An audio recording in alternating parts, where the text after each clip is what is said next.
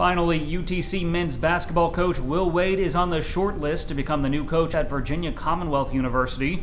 Wade was an assistant at VCU for four seasons before taking over the Mocs in 2013. He recently passed on an opportunity to become coach at UNC Charlotte.